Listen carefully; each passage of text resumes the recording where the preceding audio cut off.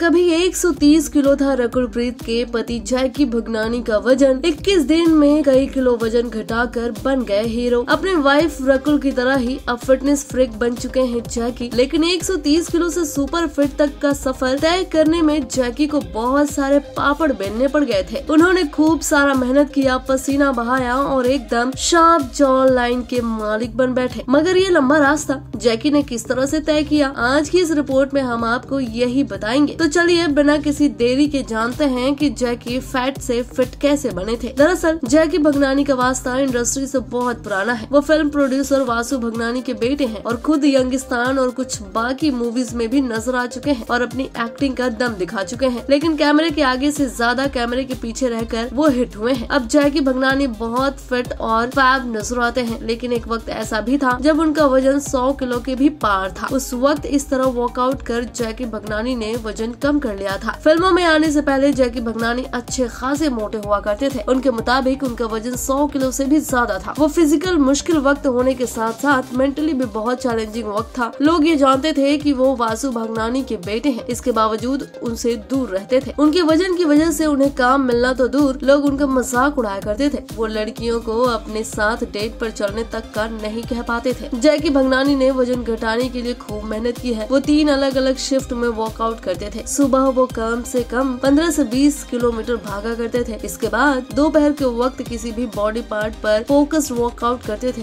ताकि body tone हो सके। शाम के समय वो all body toning exercise cardio या वेट ट्रेनिंग किया करते थे। इतने वर्कआउट के बाद उनके लिए पूरे आठ घंटे की नींद देना भी ज़रूरी था। बॉडी को तराशने के लिए जैकी भगनानी ने दिन रात मेहनत की और उनकी गिनती अब हैंडसम हंग्स में होती है। मीडिया रिपोर्ट्स की माने तो 21 दिन में जैकी भगनानी ने करीब 15 किलो वज़न कम कर लिया था और रकुल की तरह जैकी भी सुपर फिट हो गए और अब जैकी भी फिटनेस फ्रिक बन गए हैं। बॉलीवुड की latest news gossip film reviews song reviews के लिए सब्सक्राइब करें हमारे चैनल क्रेजी फॉर बॉलीवुड को।